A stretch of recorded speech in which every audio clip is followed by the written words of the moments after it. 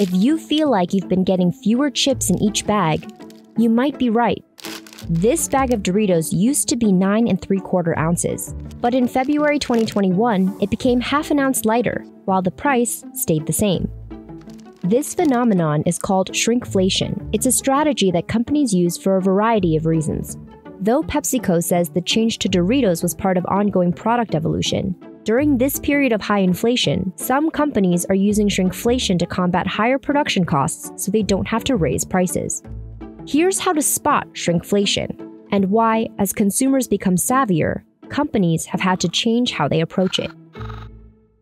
Shrinkflation is when companies are trying to save money because they face higher costs. So they just put less food in the bag or smaller portions on the plate, but they still charge the same amount so that they make more money. Sometimes it's fewer sheets on their paper towel rolls. This new roll is significantly smaller. Other times, it means the quality of products and services is going down. That could be maybe replacing sugar with high fructose corn syrup. Maybe the car you're buying has fewer automatic upgrades in it, or the hotel you're staying at no longer offers fresh towels every day, or free Wi Fi. Shrinkflation in all its forms tends to be easier for companies to pass on to customers than raising prices. Because despite labels that show price by weight, research shows that most shoppers only look at the overall price.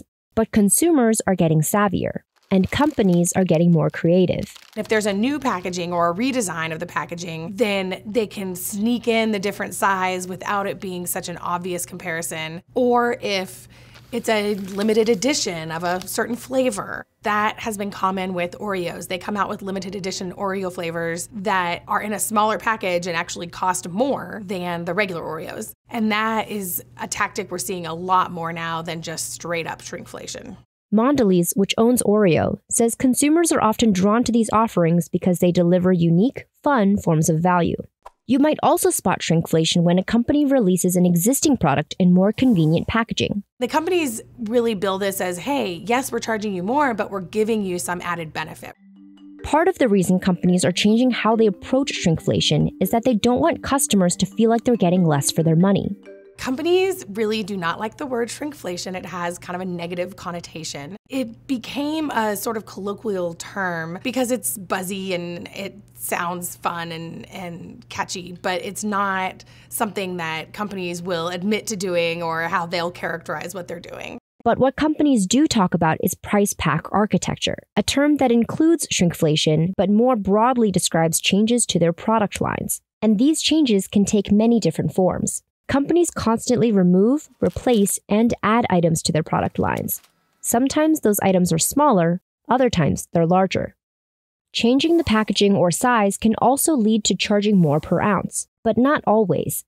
Here's the CEO of Campbell Soup talking to shareholders at its second quarter earnings call. We added innovation, whether it was mega uh, bites on goldfish or family size on goldfish, which was some of the new price pack architecture uh, that we were creating. A spokesperson from Campbell Soup says family size goldfish gives consumers an option for more product, not less. So, why do companies make these types of changes? Sometimes it's to keep their prices competitive with other brands. Years ago, the Chobani Yogurt Group changed their size of yogurt containers from six ounces to 5.3 ounces, which is what the competitors' yogurts were. But that caused some backlash with you know consumers who noticed that their yogurt container, their yogurt cup was smaller. That gave the company more revenue without having to raise its prices. Chobani didn't respond to requests for comment.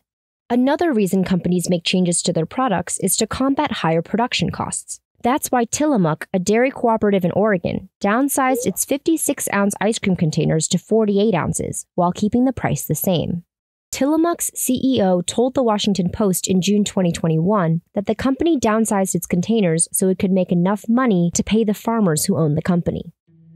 Downsizing isn't easy to do. It requires changing the production line and package design, and it takes time for these changes to flow through the supply chain. They're only going to do it when their hands are tied, when they're pressed for profits, and when they think that the inflation is really going to last. Companies also have to work with retailers because they're the ones who set the final price at which items are sold. But the biggest concern for these companies is what consumers think of them. For example, in 2016, due to the rising cost of ingredients, Mondelez cut the weight of some Toblerone bars sold in the UK by widening the gaps between the chocolate peaks while maintaining the price. Angry fans took to social media, and in 2018, the company discontinued that version of the chocolate bar. These consumer companies, it's really important to them that they don't disappoint their consumers. They want people to be loyal to them. As companies mold their strategies to fit consumers' needs and opinions, consultants and analysts say that people should also expect these changes to last.